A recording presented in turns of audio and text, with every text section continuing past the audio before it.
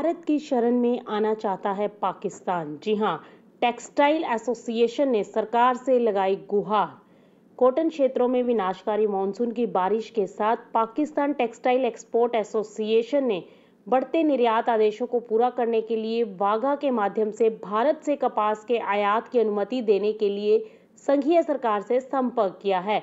Done की एक report के मुताबिक निर्यातकों का कहना है कि शुरुआती अनुमान बताते है कि कपास की खड़ी फ़सल का 25 फ़ीसदी हिस्सा खराब हो गया है और देश में कच्चे माल की कमी की आशंका है। अलग अलग सिंध और पंजाब में कपास की फ़सल से बाढ़ के नुकसान के मद्देनजर संघीय सरकार ने बुधवार को एक समिति बनाई, जो 20 कंपनियों के साथ बातचीत करेगी और उन्हें स्थानीय बाज़ार में अत्याधुनिक कपास के बीज पेश करने की सुविधा प्रदान करेगी। राष्ट्रीय खाद्य सुरक्षा और अनुसंधान मंत्रालय में हितधारकों के साथ परामर्श करने और कपास फ़सलों की उपज और क्षेत्र में वृद्धि के प्रस्तावों की समीक्षा करने के लिए एक बैठक के दौरान निर्णय लिया गया है। वहीं पाकिस्तान टेक्सटाइल एक्सपोर्ट एसोसिएशन के मुख्य संरक्षक खुरम मुख्तार ने बुधवार को डॉन को बताया, हमने अपनी एक मांग के मद्देनजर गौर करने के लिए वित्त मंत्री मिफ्ताह इस्माइल से संपर्क किया है।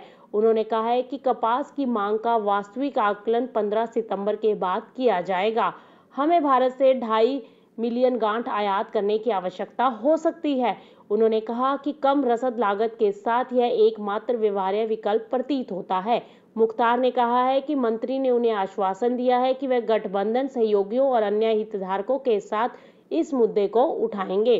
पिछले हफ़्ते वित्त मंत्री मिफ्ता इस्माइल ने कहा कि उन्होंने व्यक्तिगत रूप से भारत से सब्जियों के आयात की अनुमति देने के विचार का समर्थन किया था।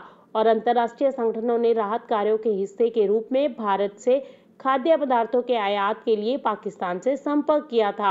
हालाँकि मंत्री ने यह भी कहा है कि इस संबंध में फैसला गठबंधन सहयोगियों के साथ विचार विमर्श के बाद लिया जाएगा। Bureau report, market times TV.